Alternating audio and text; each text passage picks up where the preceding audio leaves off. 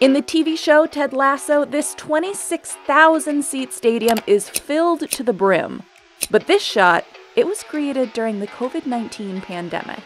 Now pause and zoom in here. See this woman? She's not really here. In fact, she was shot on a completely different continent. And this shot, the majority of these people aren't even real. The Ted Lasso team pushed the boundaries on how they could safely fill out the stands. And knowing all the different ways these crowds were made could change the way we see large crowds in movies and TV forever. The largest crowd scene ever shot was for the movie Gandhi, which holds the Guinness World Record for most film extras, with this funeral procession reportedly made up of 300,000 real marchers. But directing this many extras is expensive, not to mention a huge logistical challenge. So, movies have turned to using fake people, like this painted matte backdrop in 1959's Ben Hur, or these inflatable extras in 2006's Glory Road, which are an easy way to give more real life depth to a fake crowd in the distance. But fake crowds also come with their own limitations. They can save the crew money and properly fill an arena, but they can't move or interact on their own like real people. So the Ted Lasso team decided to use a combination of real and fake people to make their crowds look as realistic as possible. Barnstorm VFX had two big problems to deal with. First, because of the pandemic, they couldn't fill the stands with as many real people as they normally would. Plus, they weren't permitted to film on the field at the real Selhurst Park Stadium, which the fictional Nelson Road Stadium is based on. So how did they get all these people to fill 26,000 seats? They constructed an entire CG stadium and used a technique called plate extras. Filming real people the crew can direct is best for capturing distinct gestures up close, like this moment in Ted Lasso where the fans lift their fingers and shout a very specific curse word at Ted. Let's give it a shot. Plate extras are filmed in front of a green screen and then digitally scattered into the desired shots.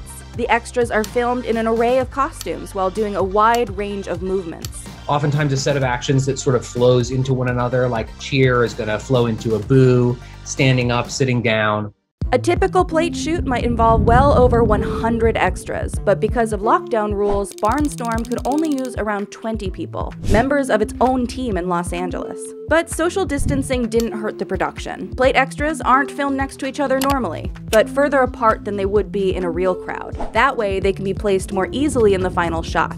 These plate extras were also filmed from multiple angles. We shot head on, front 45, and then a full profile angle because we knew that we weren't going to see people from behind. In this scene, the majority of extras from this angle were actually on set, but this guy here, another extra who was shot separately because according to Deming, the production team didn't like these two empty seats here. So we did like the smallest crowd edition we'd ever done. It was a high angle. So we couldn't just shoot someone head on on a green screen. I had to estimate the angle and say, oh, what lens do we think this was shot on? What do we think the camera height was? Get up on a ladder, shoot down, look at the shot, compare it.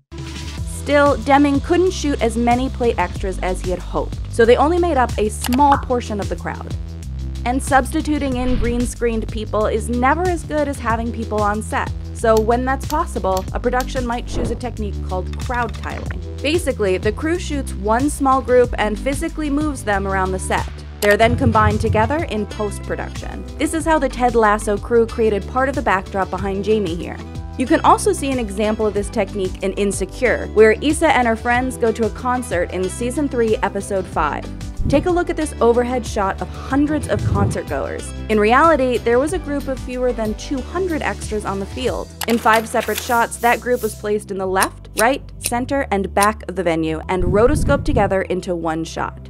Crowd tiling is key if you're dealing with varied lighting. As you can see in the finished shot, the crowds in the front, the middle, and the back are all being hit with different color lights. And a lot of work has to be done to hide the duplication. Your eye is very good at catching duplication. When you're not careful about how you do crowd tiling, you can literally end up with the same people next to themselves.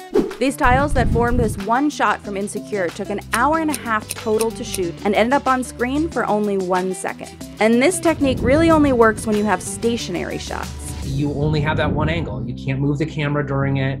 It literally just works for the one angle that you shot it from. For Ted Lasso, the limited amount of real extras both on set and in front of a green screen left the crew with few head on shots for tiling. So, how did they manage to get the stands to look so full in shots like this? Digital doubles, a method that's less realistic up close but can be used to fill in gaps from a distance. Digital doubles made up an estimated 90% of the show's crowd shots. The less detailed doubles came from a template, but productions can create more detailed ones by scanning real actors, like Margot Robbie in I, Tanya.